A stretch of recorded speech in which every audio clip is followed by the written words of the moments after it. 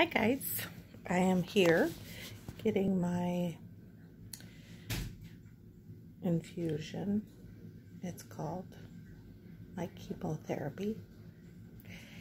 Wanted to check in with you guys. I've been um, pretty subdued lately, quiet in my thoughts, um, little nervous,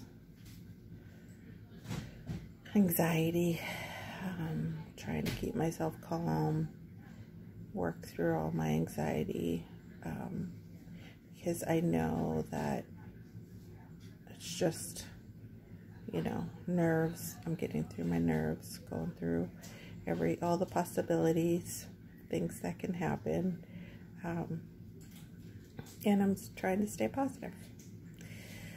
So I do that on my own time, my own way and then I'm able to face another day.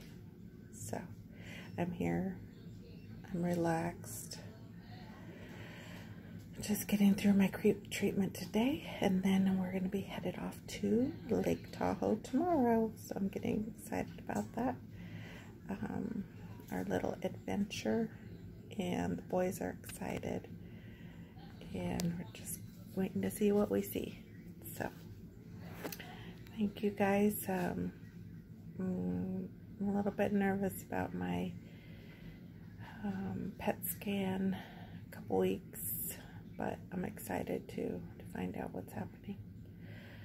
So I will probably update maybe later next week when we get back from our trip.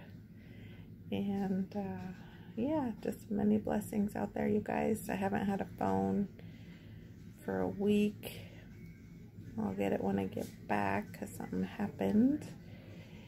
And I don't have my phone yet, but I can do internet stuff. I just can't call people and I can't text people. Sorry.